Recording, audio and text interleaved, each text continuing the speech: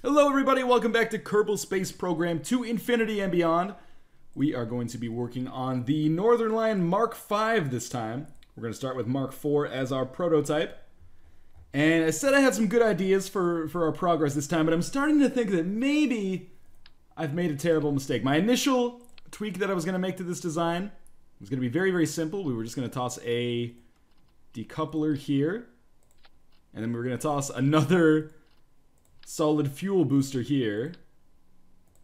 And then try it like this, but I think this might be too heavy. The other thing we should do before we do anything else actually is tie all this shit together with struts. That was not a good strut. Because if we don't tie it together...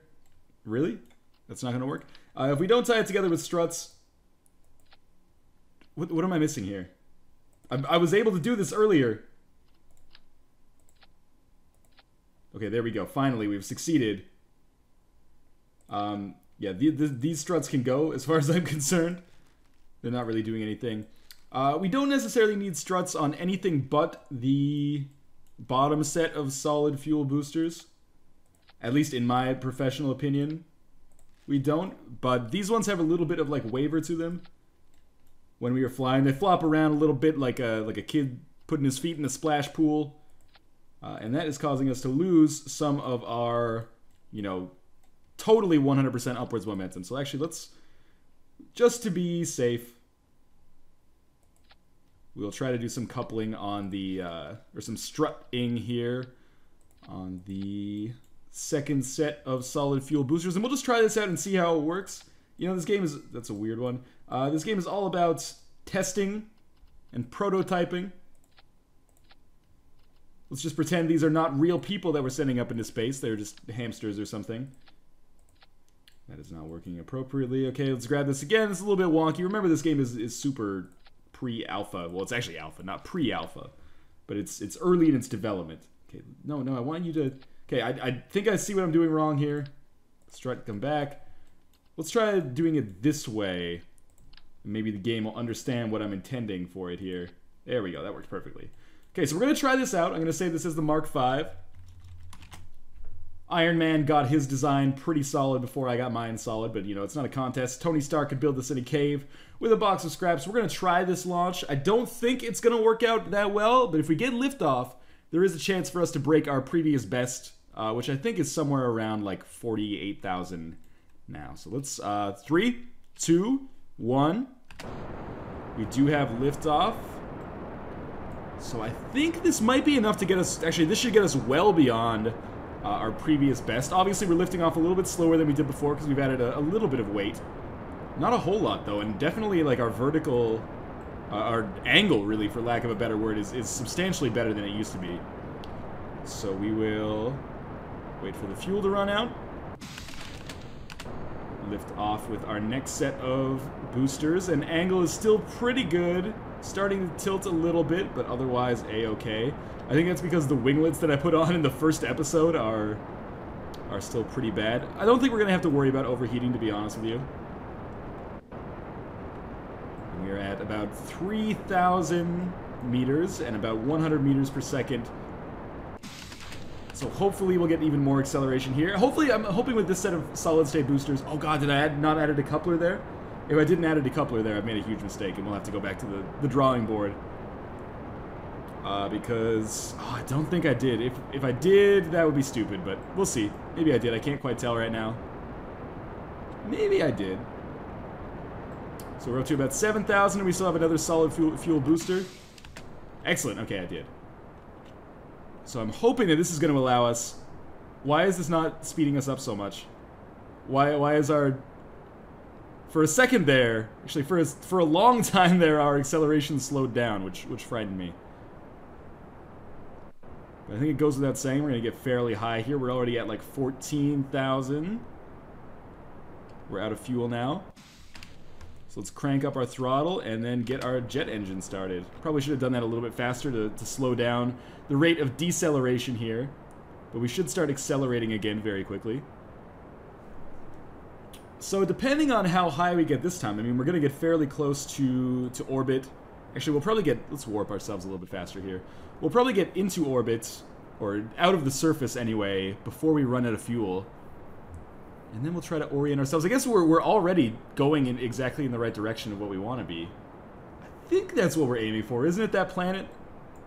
They wouldn't have made it so prominent if that wasn't what we were going for. And I guess that's one of the things I haven't had to worry about so far, but will have to worry about now that I have a decent design that is capable of getting me into space. So I'm actually gonna, let's cut the throttle a little bit. And kind of orient ourselves. Let's turn SAS off. Orient ourselves. Oh god, oh god. Okay, SAS, come back on. orient ourselves towards this planet. Okay, SAS on again. Good. Uh, and then we'll crank up our fuel again. And we're like 50,000 right now.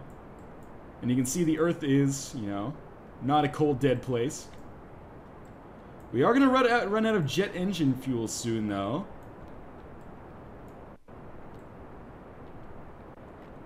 Very, very soon, in fact. But we'll see if we're we're out of if we hit escape velocity or if we're just going to start crashing. We're going to start crashing back to Earth, okay? but we've definitely reached a new high here. I think this is certainly way better than, than my previous efforts. It seems like, I don't know. I gotta look in the FAQ and figure out, now that we're actually in space, I figured it would take us like a dozen episodes just to get into space, or a space-ish area. Um, might as well decouple now, because we know we're heading back to Earth anyway. Um, but it actually, we, we've done this a lot faster than I expected. So I think that was a that was a positive change in the the design here. We're gonna okay. We got up to about sixty thousand. I've you know let my parachute go here, but now we are basically just gonna fall back to Earth. I feel like I can end the mission. It's pretty clear at this point that unless my parachute breaks, our Kerbals are gonna survive. So yeah, I would say Mark V definitely uh, a, a market improvement over our previous ones. Let's end this flight say that went fairly well. We'll head back to the vehicle assembly building and make sure that I do have this saved as the Mark V. And what would I want to do now? I guess I would just want to stack more fuel tanks in here. So let's just try one more flight. We're going to stack more fuel tanks, and I'll, I promise I'll speed up the process here. Let's put a big one on. This is going to be heavy.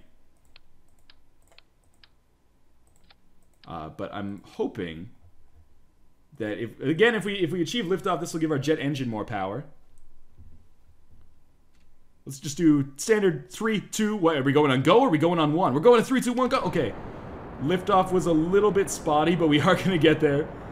Um, we're gonna get up in the air anyway. I mean, presumably it's worth it, even if we do have a little bit of a slower liftoff speed, uh, because you know, of course, we will be able to have a lot more fuel in our jet. Oh God, that's not good.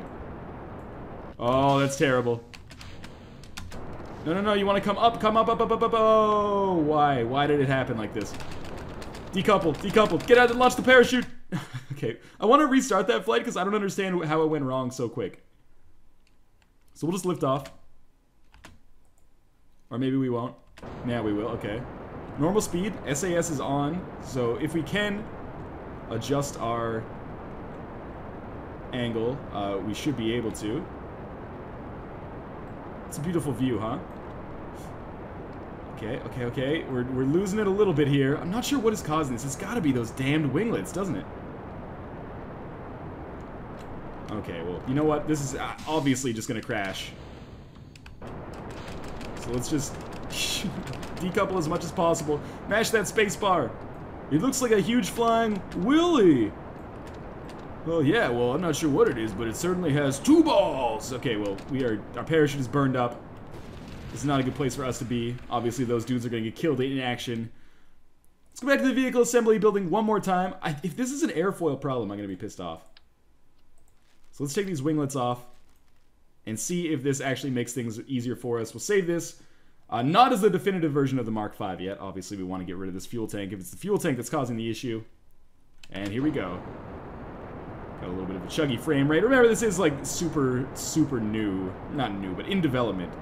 So, you know, things like performance issues, hopefully those will be figured out. I'm running this on a pretty beefy PC, so any performance issues you see are probably the the game's fault, not the and or the recording software's fault, I guess. But uh, certainly this game, although it chugs at, at occasional points, it's, it's definitely 100% playable, at least providing you have like minimum requirements or greater. So we're just going to keep going here. Got really slow acceleration from my uh, solid fuel boosters, at least the first level of them, because you know, as you might expect. Do I even... I don't even think I had SAS on there. Oh, we're tilting again. This is not good. Oh, it's coming back up. We, get, we can salvage it. We're running out of fuel. This is good. This is fine. This is fine. Okay, now turn SAS off, actually. Oh, this is not good. Well, we've got a, a very good X velocity here. Unfortunately, that's not really what we're looking for.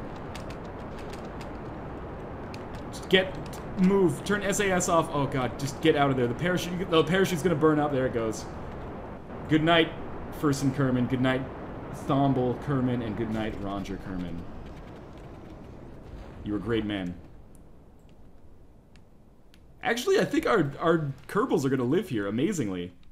Uh, I did not expect that to be the case, but you know, crisis averted.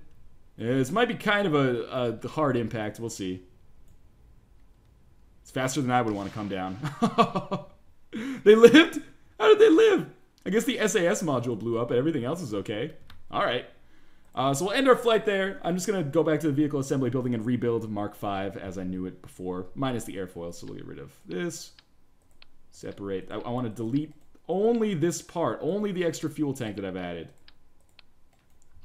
Sometimes this game can be a little bit spotty about that. Well, you know what? Let's let's just actually load up our previous Mark V. See where I had saved it. Did I have the extra fuel tank added? I did indeed. How about we do it like this? Separate like that and like that. Okay. So this is our Mark V that set a new record in terms of altitude. We'll save this. And I will see you guys next time with Mark 6. Not really sure what I'm going to do with this one. What do I need? I need I need to read the FAQ and figure out where the hell I'm supposed to go from here. As always, thank you guys for watching, and I will see you next time.